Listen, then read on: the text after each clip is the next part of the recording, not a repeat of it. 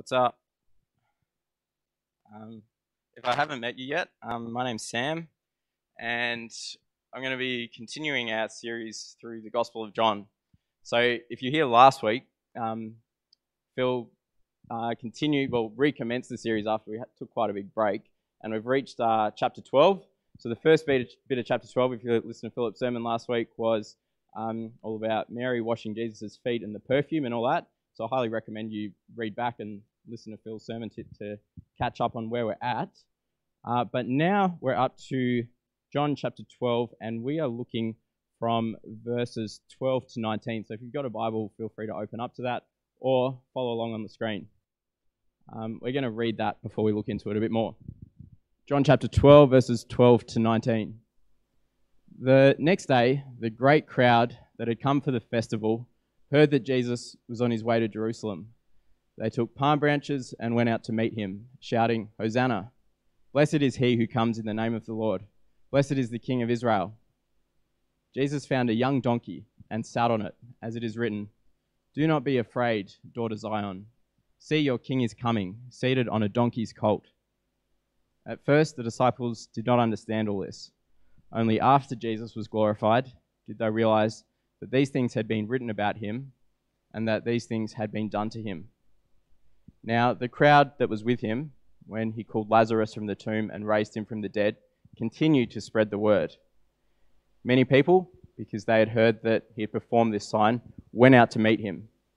So the Pharisees said to one another, See, this is getting us nowhere. Look, the whole world has gone after him. So before we look into that a bit more, let's, let's pray again. Heavenly Father, please give us understanding from your word and be able to understand uh, who Jesus is as the King, and let your Spirit uh, grant us that insight. Pray this in Jesus' name. Amen. In 2007, I was 13 years old, and there was a lot going on in the world then, but it was the first time that I started paying attention to Australian politics. And if you remember 2007, it was quite an exciting year for us politically. We just had probably almost two decades of, of Howard's government, and we'd had the whole economic boom of the 90s, early 2000s. But Australia had reached a point where it felt like there was a feeling that we needed a leader for the 21st century. We had new issues that people seem to be talking about a lot. There's, there was like in, Indigenous reconciliation, there was um, our relationship with China and how we, how we live in Asia properly, um, and carbon trading schemes and how we deal with global warming and all these new issues that were arising. And a lot of you will remember, along came this guy. That photo is taken straight from his Twitter bio. That's his current Twitter picture. Um, now, Kevin 07 came onto the scene, and he was that leader that we were looking for. He went on Rove on TV. He was he played downball. He could speak Mandarin. He ticked all the boxes that we look for in a leader. Um, and there was so much hype about him. I think that's why 13 year old me started paying attention a little bit because so many people were talking about him. He was giving a face and a leadership to our modern concerns, someone that we could get behind. And what happened with Kevin 07 is something that is reflective of what humans have done for as long as we can remember. We create hype around an individual, around a person, around someone who can represent us, and we follow them, we get behind them, we back them. And in a way, they could be prime minister, they could be any sort of leader, but they also are commonly referred to as someone that might be a king. And tonight we're looking at a king, someone who, unlike Kevin Rudd, overthrows our thoughts of what a king is meant to be, who subverts our expectations, who deposes all kings that have ever reigned, and who offers something completely different to any other human leader. So the first thing that we're going to look at is what's actually going on in this passage. There's a few contextual things that we need to figure out. Um, so I'm going to read the first three verses again. The next day, the great crowd that had come for the festival heard that Jesus was on his way to Jerusalem. They took palm branches and went out to meet him, shouting, Hosanna!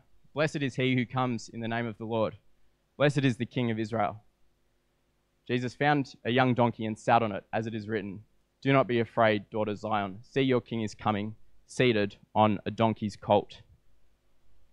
So this is happening in Jerusalem, and they're having what's called the Passover celebration. And this is when all the Jewish people would swamp to Jerusalem to celebrate their escape from Egypt. So they'd have the sacrificial lambs, have the whole meal together, and remember together what they went through when they escaped Egypt um, from slavery there. And it was a huge event for them because about 30 years after this, the historian Josephus reckons that in Jerusalem, there was 2.7 million Jews in Jerusalem at that time. Uh, and that's not including foreigners that would be there as well. So in the ancient world, there's an enormous number of people that are all gathering in Jerusalem. And what are they doing there? Well, they're getting excited. They're picking up these palm branches, waving them around, and shouting out, Hosanna, blessed is he who comes in the name of the Lord. So, why are they doing that? Why are they picking up these palm branches and waving them? Is there any special significance for palm branches? Well, it's not actually any sort of Old Testament command. There's nothing that Moses was ever told about getting palm branches and having it as part of a festival. It's actually something, at least relative to this, that was a lot more recent. So in 164 BC, about 180 years before this, uh, there had been this, this Jewish leader, a guy called Judas Maccabeus, and he had led these Jewish zealots uh, in a big revolt because they had been the Jerusalem and Israel had been occupied by the Seleucians, who are this, this Greek group, um, one of Alexander the Great's generals, who had been occupying Jerusalem, and uh, Judas Maccabeus led this huge revolt to take back Jerusalem. They'd been prevented from worshipping at the temple, prevented from doing all their sacrifices, and then Judas Maccabeus led the people, kicked out the, the occupiers, and set them free. And this celebration um, that they had afterwards became, became known as the Feast of Lights, which we call Hanukkah today. And a part of that celebration, uh, at least in the early days, involved waving these palm branches, because that's, what, that's how they celebrated Judas Maccabeus as he went through the city celebrating his victory. Um, so waving palm branches was a symbol of victory. It was a, a symbol of victory over oppression and freedom from occupiers and it's kind of a sign of what they thought Jesus was, or who they thought Jesus was.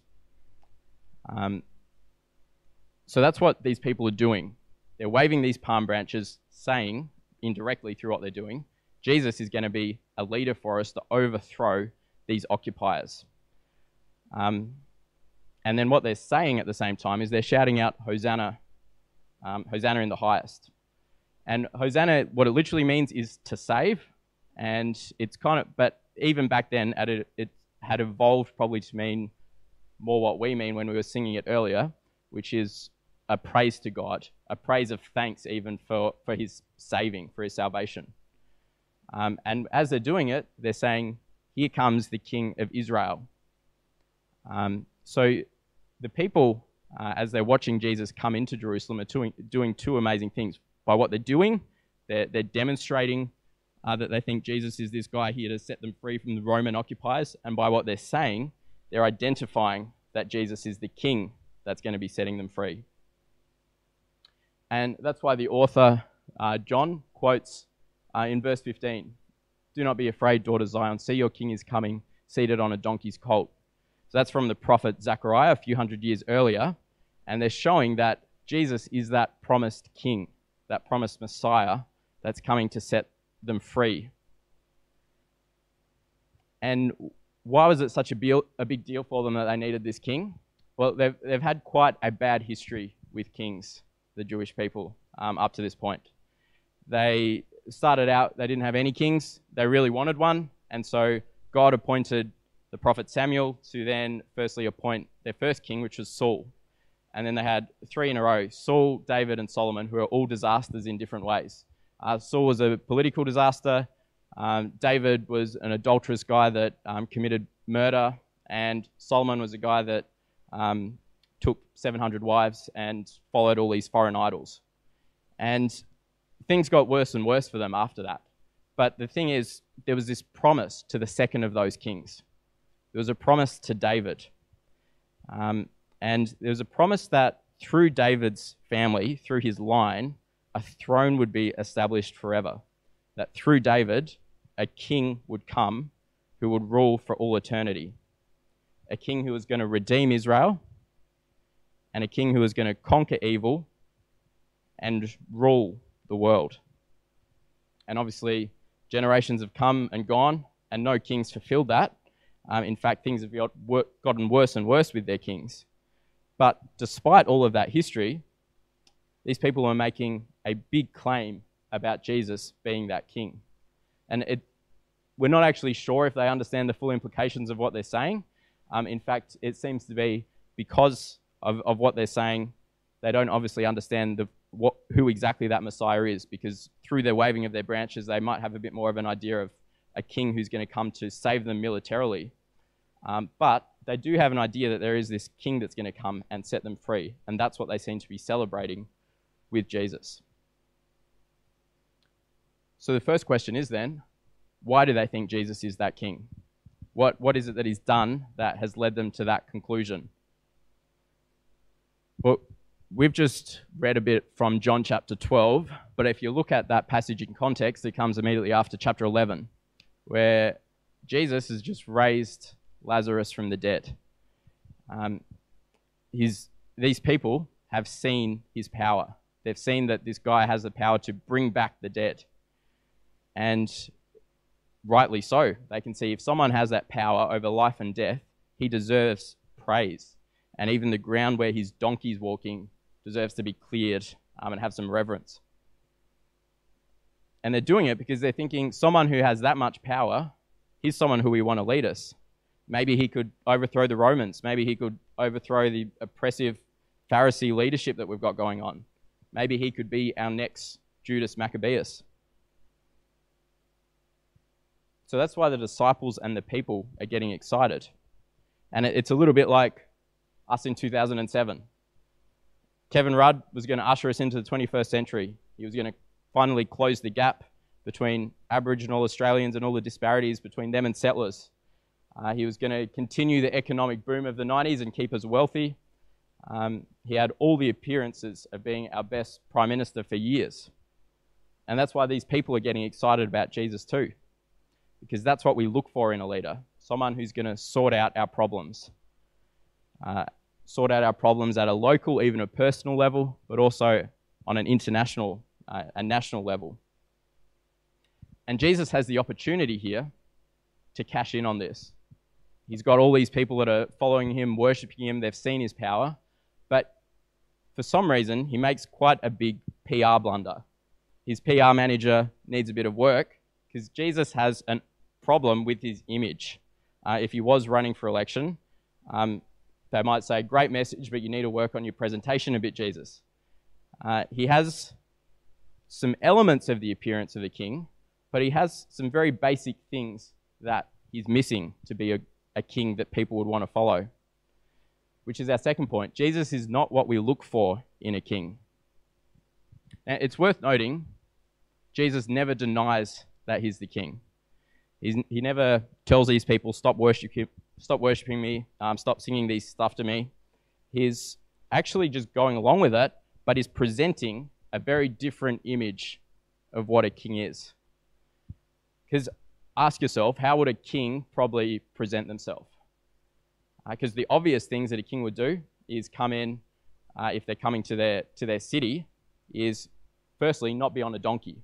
They'd be riding a big steed. They'd go through the, go through the, um, through the city, take a seat on their throne. Uh, there'd be a lot of big physical identifiers that would make it obvious. They'd be riding a big steed instead of a small donkey.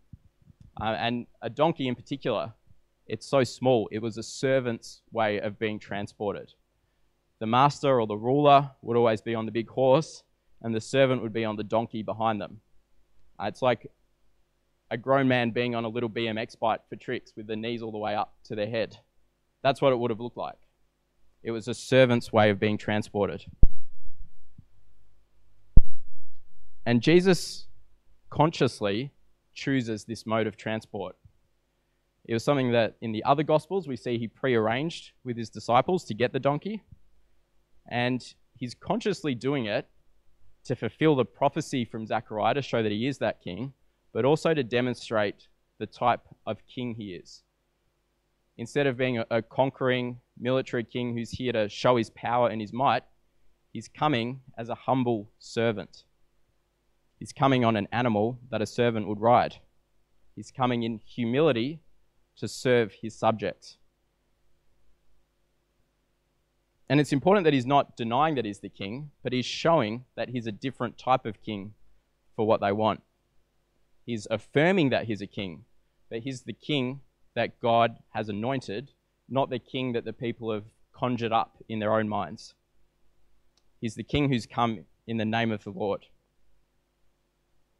And that's kind of the opposite, I think, of what we often look for in a leader. I know that our politicians are technically technically called ministers. We have the prime minister, the minister for whatever, and all the different portfolios. And minister itself means the one who serves. But I think we all know that often the people that get into those positions of power, what attracts them to it is a search for power.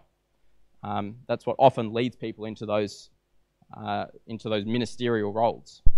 But Jesus here is coming as an actual servant, presenting himself as, as a servant. So that's one reason why Jesus is not who the people here look for as a king and why we might not look for Jesus as a king. And there's another reason. Every king needs a jurisdiction. Every king has their palace, their land, uh, and an area that they rule over. But Jesus doesn't have that. Uh, and the reason for that is Jesus, when he first arrives, when he first starts his ministry, his first message is repent, for the kingdom of heaven is here. And what he's saying is that the kingdom is present already. This, this kingdom isn't made up of physical boundaries that you can point to on a map. It's made up of people who are dwelling with the one true king. It's made up of people who are following Jesus. And when he came, Jesus installed God's kingdom. So if Jesus is this king, if he is the guy that uh, has come to establish this eternal kingdom beyond just the, the mere physical world, why isn't he the head of state of every country? Why isn't his face on all of our coins? Why aren't we all bowing down and following him right now? Well, it's the same for those people uh, 2,000 years ago as it is for us today. We don't want to follow Jesus. We want a leader, if we do want a leader, who can solve our problems right now. We want someone who can address our immediate concerns, whether that's introducing carbon trading schemes or leading us through the 2008 global financial crisis. Whatever it is, we want someone who can solve our problems immediately. And Jesus doesn't seem to be giving the people what they want. He's not seizing power. He's not making big speeches about overthrowing the Romans. And he's not fulfilling what they wanted the military leader to be. So we can see there's two reasons why Jesus isn't what we look for in a king. He doesn't present himself like a king, and he doesn't have a normal kingdom. And the ultimate result of this is Jesus becomes the king who will die. Um, at the end of the passage, we see that the, the Pharisees are discussing how they're going to put an end to Jesus and his uh, attraction of all these crowds. And the Pharisees are scheming. Uh, they know their history, the, the Jewish leaders, the Pharisees, and they know that this guy Jesus is fulfilling all these Old Testament prophecies, but they don't want any part of that kingdom. They want to destroy that kingdom and they put a plan in place, ultimately, which three days after this is going to put Jesus to death. But then, how do they turn the people against Jesus? Because he's obviously got a whole lot of followers here. How, in a couple of days, do they all turn on him? And within two days, these same people are screaming out for the death of Jesus. Well, it's because Jesus didn't fulfill what they wanted. They wanted a guy who would be fulfilling their immediate needs, who would be driving out the occupiers, be establishing Israel and doing exactly what they wanted to do. They had their own private agenda in coming to Jesus. And that's perhaps a lesson for us who come to Jesus in making demands and us being upset when he doesn't do exactly what we want. Jesus wasn't denying that he was their king. He was actually affirming that he was their king, but he was the king that God had anointed and not the king that they had created in their minds. So that's why the Pharisees didn't want Jesus to be king, and then the people ultimately turn on him and have him killed. So, what does that mean for us then today? In Kevin 07 situation, he ruled for three more years, and eventually it came out all this, these revelations from Department of Prime Minister and Cabinet of bullying within uh, his office, and um, there was uh, because of that, he lost the trust of the Labor Party. Nothing could, was passing through the Senate because no one in the Senate was backing any of his moves. Uh, his opinion polls absolutely plummeted, and he was ousted by his own party um, when Gillard overtook him in 2010. He made an attempted comeback in 2013, uh, but Australia had made up their mind by then. We didn't want him as our leader anymore. And why did we turn on him? Well, it's because we had seen his true self. Uh, with his time in power, He'd done some good things, but he'd done some things as well to see his true character come through. And Australians turned on that. And that's the same with all humans, human leaders in all of our history. They've all let us down at some point, and they've always failed. But when we see Jesus as a king, he's fundamentally different from all other leaders, from all other kings. He's a king who comes to heal and restore and forgive He's a king who comes to literally die for his people. And not only that, he's a king who is coming back. The same author of this book, John, wrote the, the last book of the Bible, Revelation. And uh, in that, he has this prophecy uh, in Revelation chapter 19, verse 11, where it says, I saw heaven standing open, and there before me was a white horse, whose rider is called Faithful and True with justice he judges and wages war. His eyes are like blazing fire, and on his head are many crowns. He has a name written on him that no one knows but he himself. He is dressed in a robe dipped in blood, and his name is the Word of God. The armies of heaven were following him, riding on white horses and dressed in fine linen, white and clean. Coming out of his mouth is a sharp sword with which to strike down the nations. He'll rule them with an iron scepter. He treads the winepress in the fury of the wrath of God Almighty.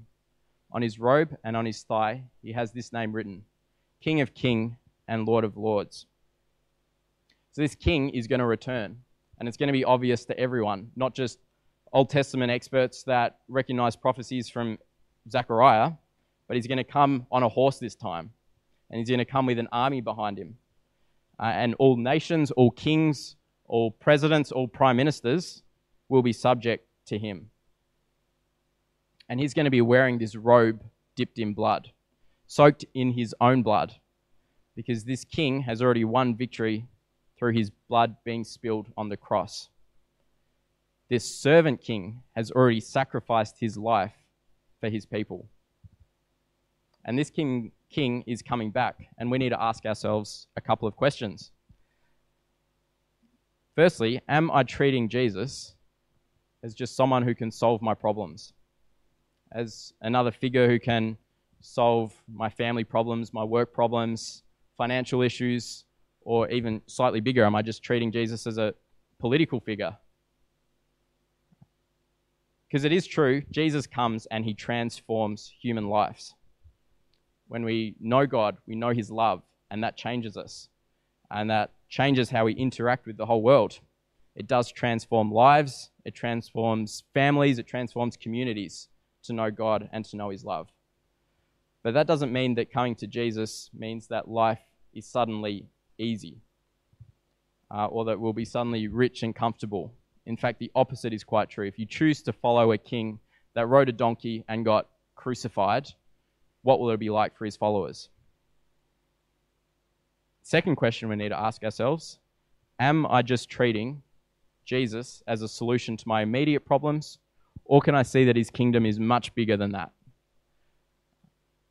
Can I see that he is a kingdom, he is a king with a kingdom that's much bigger than my immediate world? He's a king who's going to reign for eternity, who conquers all evil and sin, a servant king who comes riding on a donkey to serve his people and save his people. And if you're someone who calls Jesus your king, what does that mean for you? What does it mean to be his subject? Am I faithfully following him as king? What does it mean to emulate him, to serve in the way that he served, to sacrifice, ourselves for others, to serve in humility the way that he's demonstrated he is as a king? Let's ask God to help us serve in that way.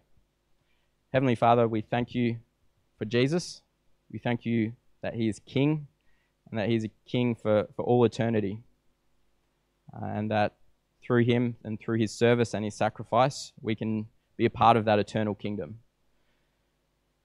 That, we, that you will be reigning forever and that we get to be a part of us. We, part of that. We thank you for that, Father. And please help us to, to serve uh, and to follow your model um, in serving those around us. We pray this in Jesus' name. Amen.